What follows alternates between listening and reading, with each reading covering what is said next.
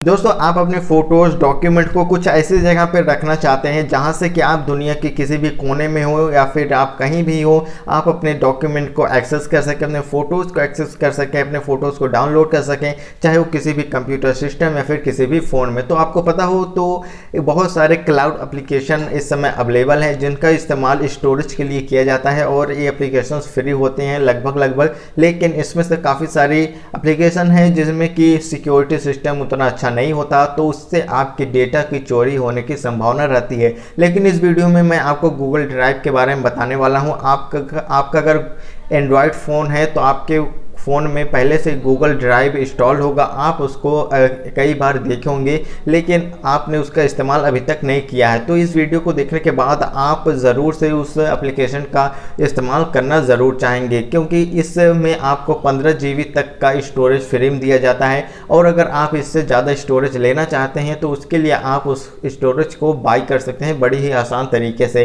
तो चलिए मैं आपको दिखाता हूँ कि आप इसका इस्तेमाल कैसे कर सकते हैं। नमस्कार दोस्तों, मेरा नाम है शुभम और आप आपका मेरे चैनल के एक नए और फ्रेश कमाल धमाल वीडियो में फिर से बहुत बहुत स्वागत है।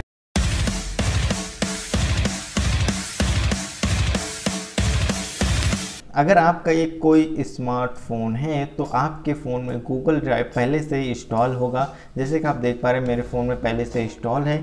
तो इसको यहाँ पे सिंपल से आपको ओपन कर लेना है। इस तरह से ओपन करते ही ये कुछ इस तरह का इंटरफेस आपको शो होगा, जिसमें कि आप देख पा रहे हैं सबसे ऊपर है सर्च बार जिसमें से कि आप अगर किसी फ़ोटोज़ या फिर वीडियो को रीनेम करके रखें तो आप यहाँ से उसको आसान तरीके से सर्च कर सकते हैं।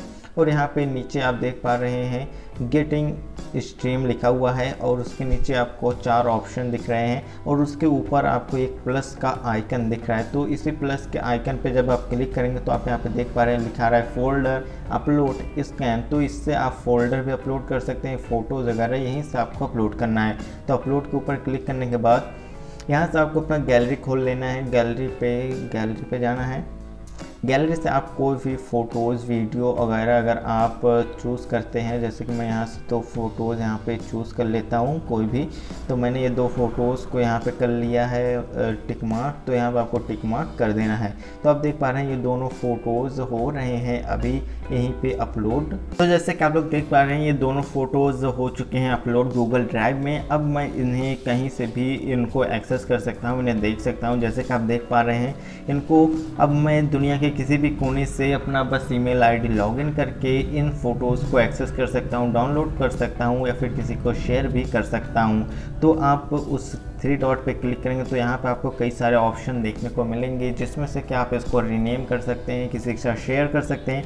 तो शेयर करने के लिए सबसे ऊपर ही ऑप्शन आता है शेयर तो यहाँ पे बस आपको उस इंसान का ईमेल आईडी डाल देना है, जिसको आप पे शेयर करना चाहते हैं और यहाँ से सेंड कर देना है और ये फ़ोटोज़ उसके ई आई पर पहुँच जाएगा। दोस्तों, अगर बात करें ये जो नीचे चार ऑप्शन दिए हुए हैं, जैसे कि एक होम पेज एक स्टार तो होम पेज पर जब आप क्लिक करेंगे तो यहाँ पर आप एक बार इसको रिलोड कर लेते हैं।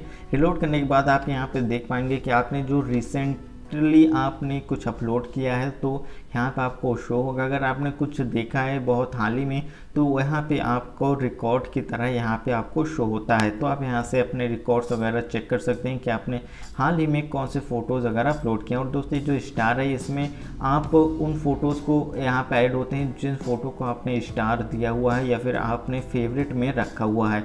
दोस्तों, ये जो साइड में उसके स्टार के बगल में ऑप्शन दिया हो, जिसमें कि दो फेस की तरह बना हुआ है। इससे आपको अगर किसी ने कोई फ़ोटो या फिर कोई वीडियो आपके पास किसी ने ईमेल किया है तो वो आपको यहाँ पे शो होता है। और दोस्तों, अगर बात करें ऊपर के वो जो थ्री डॉट पे जब आप क्लिक करेंगे तो यहाँ से आप अपने सेटिंग्स वगैरह को देख पाएँगे। आपने रिसेंटली कौन से फ़ोटोज़ को अपलोड किए हैं, आप ऑफलाइन में आप कौन से आपने रखा हुआ है, बंद जो किया है नोटिफिकेशन आप बैकअप भी ले सकते हैं।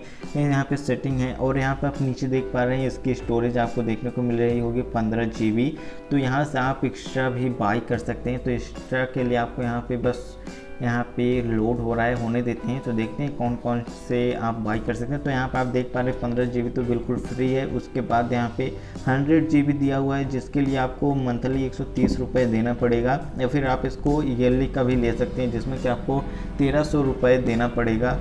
तो वैसे आप इसको ख़रीद सकते हैं। अगर आपके बजट में हो या फिर आपको स्टोरेज की काफ़ी ज़्यादा ज़रूरत हो तो आप इन सबको ख़रीद सकते हैं स्टोरेज को। तो यहाँ से आप आराम से इसको खरीद सकते हैं। दोस्तों, उम्मीद करता हूँ ये वीडियो आपको अच्छी लगी होगी। अगर अच्छी लगे तो इस वीडियो को लाइक ज़रूर कीजिए, अपने दोस्तों के साथ शेयर भी कर दीजिए। और अगर आप मेरे चैनल पर पहली बार आ रहे हैं या फिर मेरा वीडियो पहली बार देख रहे हैं तो मेरे चैनल को सब्सक्राइब ज़रूर करके जाइए, क्योंकि मैं इसी तरह की वीडियोज़ हमेशा आपके लिए लाता रहता हूँ।